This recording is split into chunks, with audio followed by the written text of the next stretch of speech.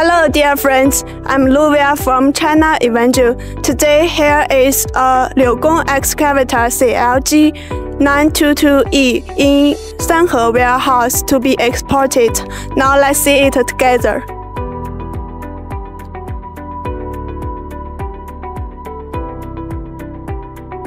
Liugong excavator CLG 922E is a middle-sized excavator. It is suitable for most construction situations such as road construction, uh, mining, forestry, and so on. The pilot valves match the control valve very well, so it can offer precise control in the working conditions. The most important working part is the bucket.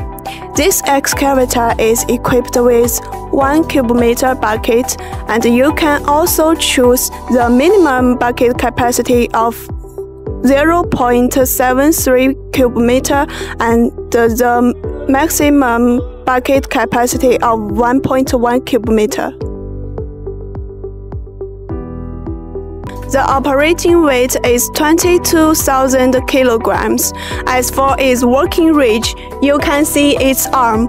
The maximum digging depth of it is 6.5 meter and the maximum digging height is almost 10 meter. The overall size of it is 9.5 meter long, 3.0 meter wide and 3.1 meter high.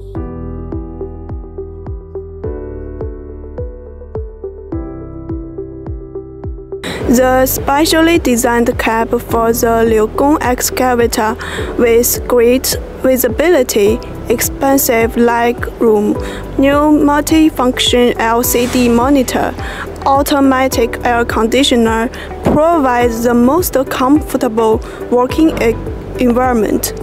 The 922E excavator is powered by Cummins engine.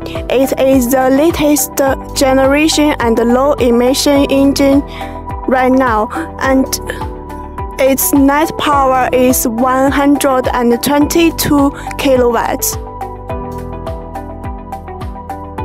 Okay, all these informations above are the info introduction of the excavator CLG922E. If you want to know more about the product or our company, welcome to inquire and I'm always at your service. I'm Luvia. See you next time.